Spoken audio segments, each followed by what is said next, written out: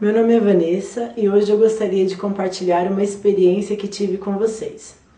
Durante o percurso da minha vida, eu percebi em mim uma dificuldade em lidar com as minhas emoções.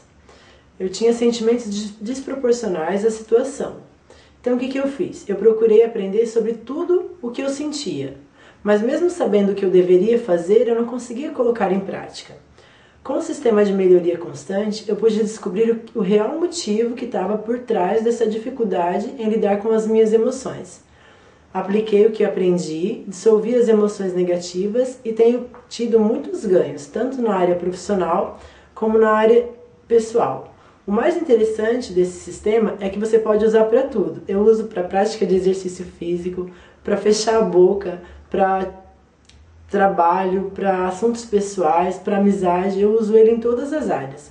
Confesso que quando tive contato com o sistema, eu achei o valor um tanto elevado, mas logo que tive contato com os ganhos, eu percebi que era um valor irrisório e que era o melhor investimento que eu já tinha feito na minha vida. Eu acredito que o segredo da felicidade ele provém do autoconhecimento, pois somente a gente sabendo o que realmente é importante que a gente tem a oportunidade de alinhar a nossa vida atual com o que é importante para gente. Por isso eu super indico o sistema de melhoria constante.